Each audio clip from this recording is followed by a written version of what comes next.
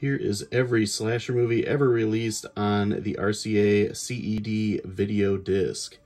We got Alone in the Dark, Body Double, The Boogeyman,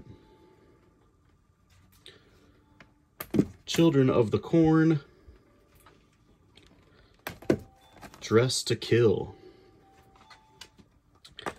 Final Exam, which I'm surprised was released.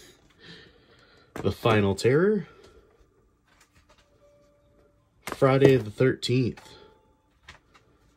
Friday the 13th, Part 2. Friday the 13th, Part 3. Friday the 13th, the final chapter. Spoiler, it wasn't the final.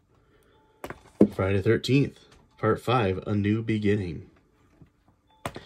Graduation Day. Halloween 2. The House on Sorority Row, which is a very good one. Check that one out. Hospital Massacre. He Knows You're Alone. The very first movie the star Tom Hanks. Psycho. Psycho 2.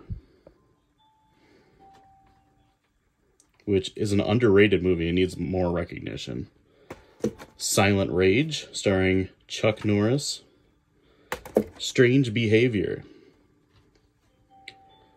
10 to Midnight, starring everybody's favorite Charles Bronson.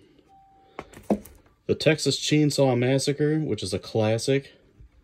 And Visiting Hours, starring William Shatner.